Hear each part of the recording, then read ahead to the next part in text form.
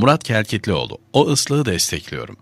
Hiç kimse kusura bakmasın. Ankara tren garı önündeki saldırıdan sonra Konya'da oynanan maçtaki ıslıklamayı ne kadar kınıyorsam, İstanbul'da oynanan Türkiye-Yunanistan maçındaki saygı duruşu sırasındaki ıslıklamayı, o sırada atılan şehitler ölmez vatan bölünmez sloganlarını o kadar destekliyorum. Yargılamadan neden böyle düşündüğümü okuyun.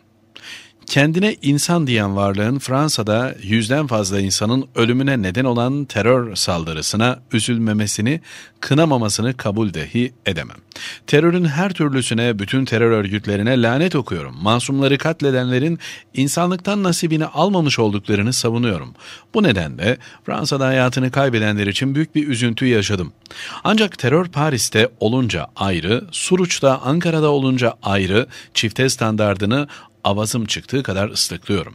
Fransa'da 12 kişinin öldüğü Charlie Hebdo saldırısı sonrası dünya liderleri Paris'te toplanarak omuz omuza teröre lanet yürüyüşü düzenlerken 34 kişinin hayatını kaybettiği Suruç ve yüzden fazla insanın öldüğü Ankara saldırısından sonra aynı liderlerin sessiz kalmasını, üç maymunu oynamasını kabullenemiyorum.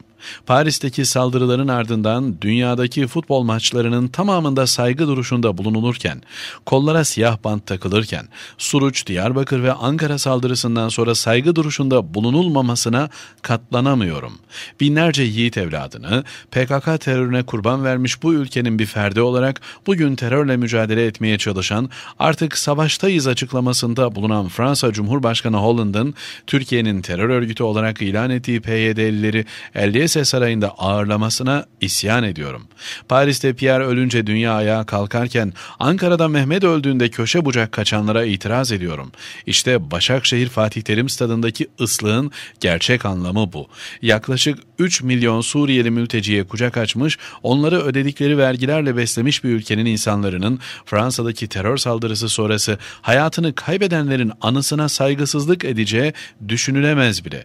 O ıslık yukarıda saymaya çalıştığım çifte standartlara karşı bir isyandır.